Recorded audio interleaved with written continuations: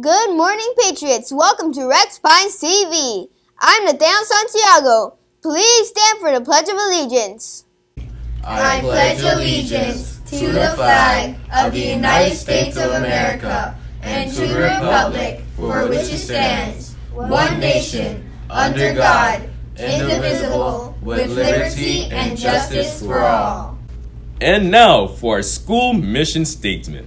We the Patriots achieve greatness through high expectations, passion, and perseverance. Thank you. You may now be seated. Today is Tuesday, January 21st, 2020. Now let's go to Mark to see what happened today in history. Thank you, Nathaniel. Today in history, on January 21st, 1879, 82 British soldiers hauled off the tax by 44,000 Zulu warriors at the Battle of Rorke's Drift in South Africa. Now let's go to Danielle to see what's for lunch.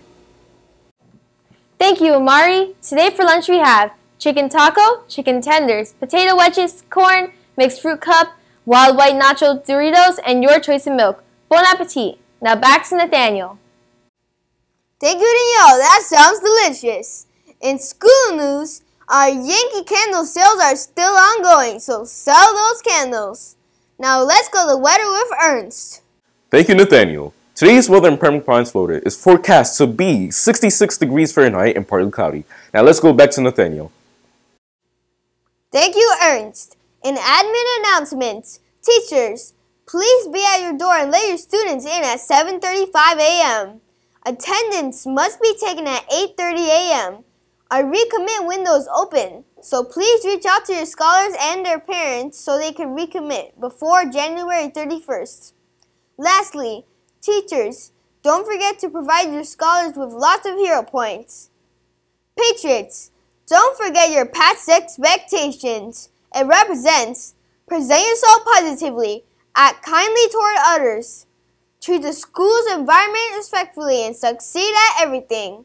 Congrats, Miss Santiago, Miss Bellandrono, Miss Stone, Miss Kane, Miss Palator, Miss Calabrese, and Miss Moraz. You got to the correct answer to the trivia question, which was, What movie is Ferone Fiona from?